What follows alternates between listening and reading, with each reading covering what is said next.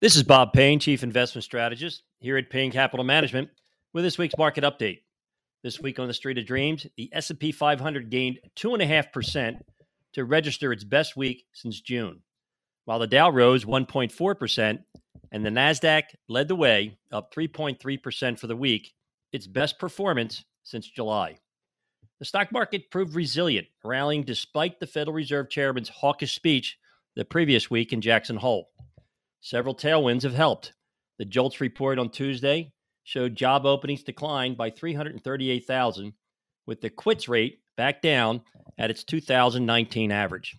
The unemployment rate ticked higher to 3.8% in August, reaching its highest level in more than a year, even as August payrolls grew at a faster than expected pace, with 187,000 jobs being added. However, job numbers first reported for June and July were revised down by a combined 110,000. In another sign of slowing economy and easing pricing pressures, average hourly earnings increased 4.3% on a year over year basis.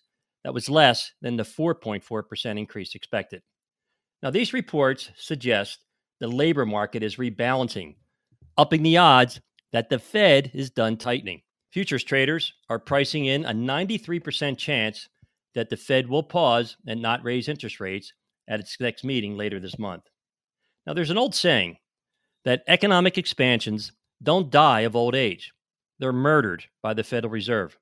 If that's the case, then the U.S. economy is outrunning its would be assailant. Stocks have rallied this year, buoyed by the prospect that cooling inflation allows growth to slow without requiring a recession, what we call a soft landing. The S&P 500 declined 27% in the first nine months of last year in 2022, but have since recovered. It's now up more than 18% year to date and closed Friday just 6% below its all time record high.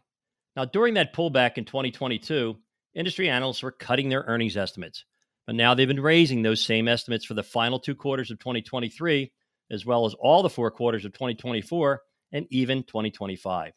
There's obviously no recession apparent in the analyst consensus earnings forecast. Now, the August jobs reports were in line with other recent U.S. data.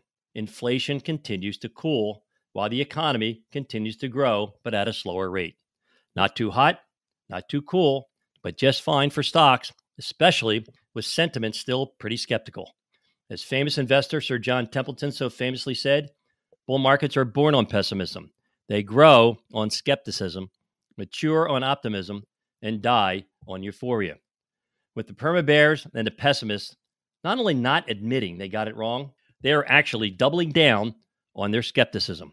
I have to believe this baby bull has plenty of room to grow. Hey, my son Ryan and I, we have 75 years experience building low cost, tax efficient goal based portfolios.